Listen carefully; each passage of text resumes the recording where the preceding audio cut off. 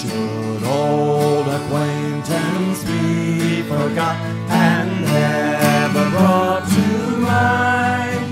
Should old acquaintance be forgot for the sake of old